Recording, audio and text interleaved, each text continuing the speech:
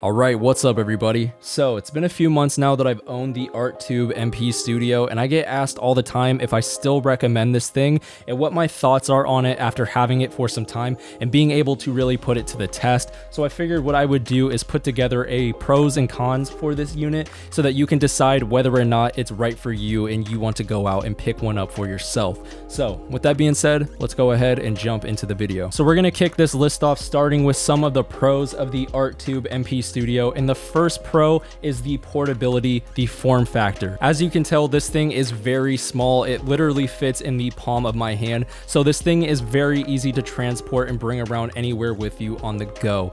You can easily toss this into your backpack, bring along your laptop, your portable interface, microphone, and you are ready to start recording some very professional quality audio. I love the idea of being able to throw this thing into my backpack and know that when I go to record, I'm going to be getting some very nice tube saturation saturation and warmth that really just adds a bunch of character to whatever it is that you're recording. The second pro that comes along with this preamp is the amount of gain that it can supply. It can give up to 70 decibels of clean gain at an EIN of minus 129, which is very low. It's definitely enough gain and a low enough EIN to easily power a very gain hungry microphone, such as the one that I'm using right now, the Shure SM7B. I've tested this preamp with the SM7B numerous times, intentionally trying to draw any sort of noise that I can, either from the microphone or the preamp, and it's virtually impossible. This thing is very clean. I'm very impressed with the quality that I'm able to pull out of this thing when using it with a very gain-hungry microphone, again, such as the SM7B. And it goes without needing to be said, of course, if you're recording just a regular condenser microphone, there is absolutely no way that you should run into noise issues when you are using this preamp. The third pro that comes with using this preamp is the amount of character and tonality that you can pull out of it when you increase the input and bring your output down.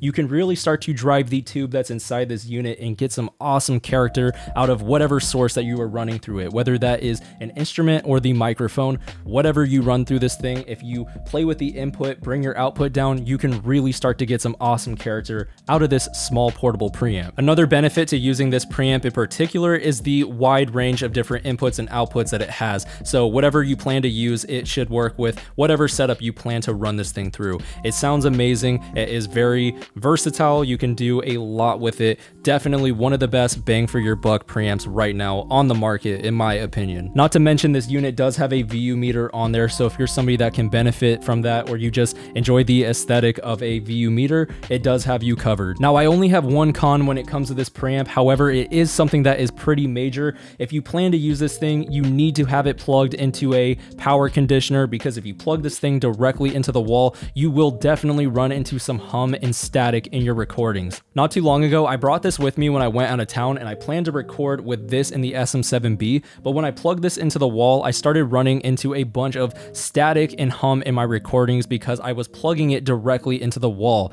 When I plug this into my power conditioner here in the studio, I don't have that issue at all. I tried plugging it in at my apartment in just a wall outlet and it did the exact same thing that happened when I was out of town, which tells me that if you're plugging this directly into the wall, more likely than not, you're going to run into static and hum. However, if you are plugging this into a power conditioner, which you absolutely should, you should be plugging all of your equipment into a power conditioner, in my opinion. If you plug this into a power conditioner, you should have zero issues. It should sound very clean, no static, no hum, nothing. Other than that, this is easily the best bang for your buck preamp right now on the market. I haven't checked in a while, but when I bought this thing, I only paid $50 for it brand new. I will include somewhere on the screen right now if it's still the same price, but that is easily without a doubt the best bang for your buck purchase for any preamp out there. This art makes very high quality products in my opinion. I use a lot of their stuff. I'm actually recording with the MPA2 right now, the much more expensive